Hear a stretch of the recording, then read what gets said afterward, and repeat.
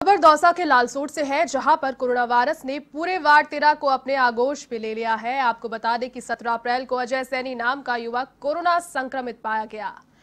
इसकी रिपोर्ट अब नेगेटिव आ गई है। इसके बाद युवक को आइसोलेट किया गया और अपने घर उसे भेज दिया गया।